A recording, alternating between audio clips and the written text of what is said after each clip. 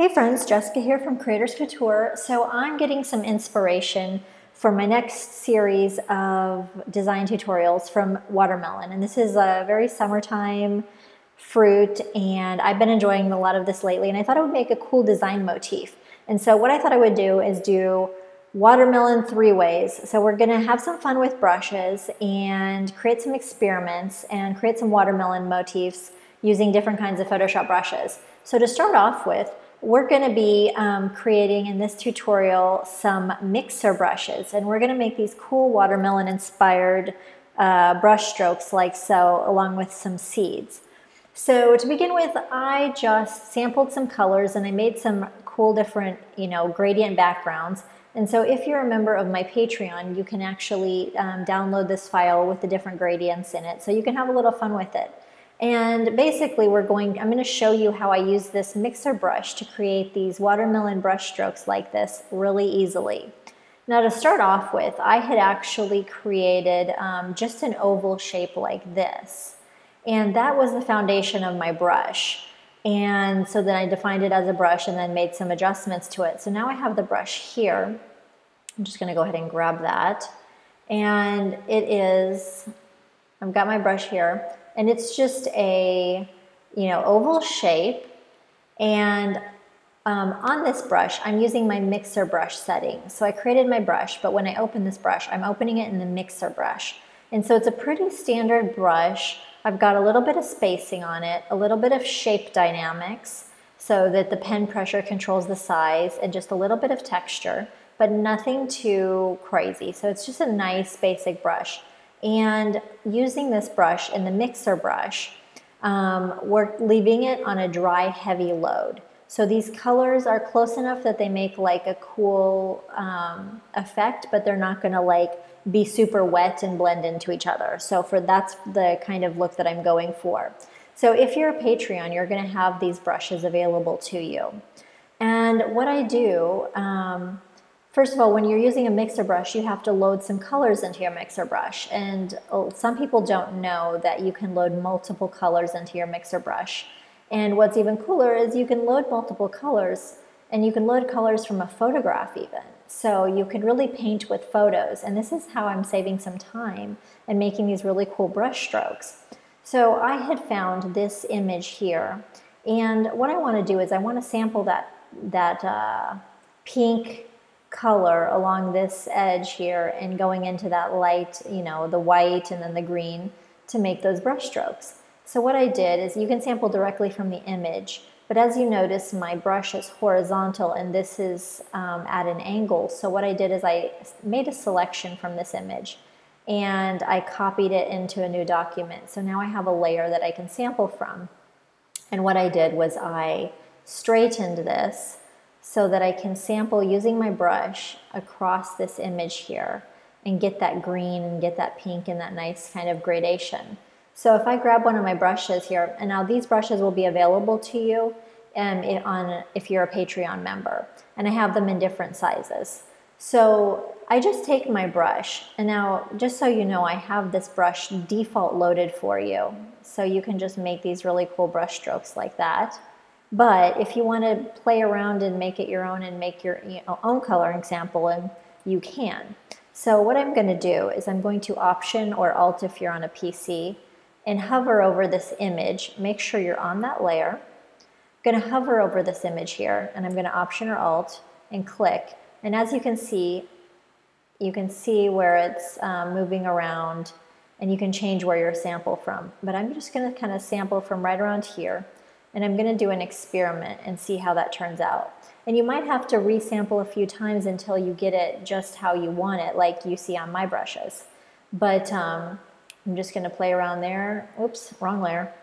Make sure you're on the layer and Option or Alt, hover over it and sample it. So I'm going to try my sample here and I will just pull down like this. And now this is cool but I, I, want to make, it stops here with the white, but I want to get the green. So I know next time when I sample from this image to move a little bit over. So look where it is right here and you know learn from that. So I'm going to option and click over here and make sure I get that green in there. So now I'll go to a new layer And now I can see I have all those colors and it looks really cool. So that's how you can use images to, to sample and create really cool effects like this. And it just saves you tons of time. So that's how I went and created these brush strokes that you see over here. And what's cool is that um, if you're a Patreon member, I've saved some brushes for you and I've saved them preloaded so you get to have a lot of fun with it and you don't have to worry about you know exactly doing it um, you know sampling it yourself. But I've got uh, the classic watermelon brush that's sampled in a 300 size. And excuse my computer it's being a little bit slow these days. That's the 300 size and then I have it also saved in a smaller version. Because one thing you have to remember about the mixer brushes is that even if you save them with the color samples already loaded, if you want to change the size of that brush, it's going to lose that. It's going to lose the, the color that you have loaded. Um, so just a little word to the wise. And also I created another, another watermelon brush so that you can have the green on the other side. And let me just undo that and I'm gonna hide my little seeds here. I'm gonna make a new layer and then just show you kind of how I did that. So just take these brushes and I made this really cool brush stroke like so. And let's see here. So now we have our brush stroke down. And you can, um, if you're a Patreon member, you can download this, uh, this P PSD file so you can play around with the different backgrounds, but I like that. And then I, I wanted the seeds. So what I did was I created a little, let's see if we can find it here pop this to the front. So to create the seeds, I just created a little seed shape and defined that as my brush. And then what I did was I went ahead and I um, increased the scattering of the brush and the spacing and put a little texture on it so I have this brush. And what I did is I didn't want it to be just black because seeds aren't actually black. So we're using this brush using the color blending pattern stamp tool technique. And I'm going to go over to my um, image here and kind of zoom in on one of these brush, these seeds here. I'm going to get my selection tool. And what I'm going to do is go like this over one of the seeds. And then I'm going to go to Edit, Define Pattern. And I'll click OK. And so now, when I go over to my um, image here, I go over to my pattern stamp tool I grab that seeds brush and then I go up here and I select that um, pattern that I just defined from my image and it's going to give me these a mix of these lovely colors of brown that the seeds are. So I can scatter like this or just make some little kind of cute accents like I did on my other one. And now I have like, it's a little bit more, I wouldn't say realistic, but it's, it's nice because it's not just super black.